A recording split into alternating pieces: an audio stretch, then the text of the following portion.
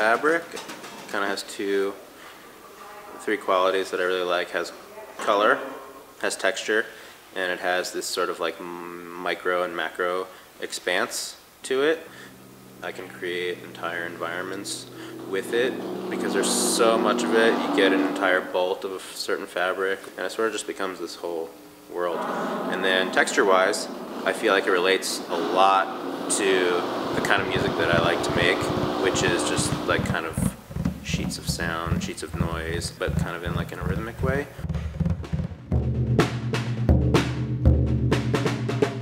In the future, I might really start exploring how it comes apart.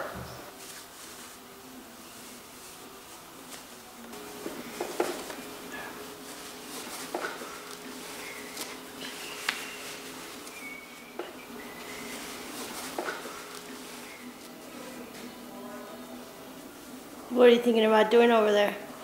I'm thinking about like trying to sort of catch these cymbals as they skate by on a little current of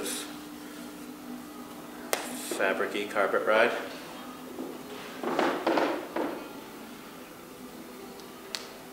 What do you think about that?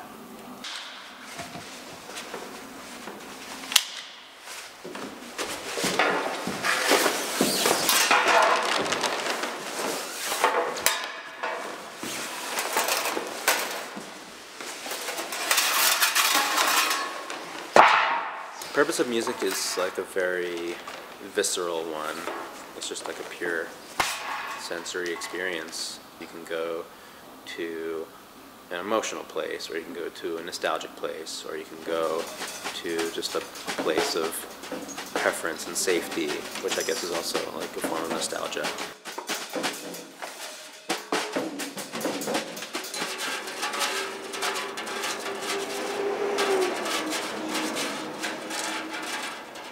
As you get older and your brain solidifies from a young age, like it's just a matter of familiarity.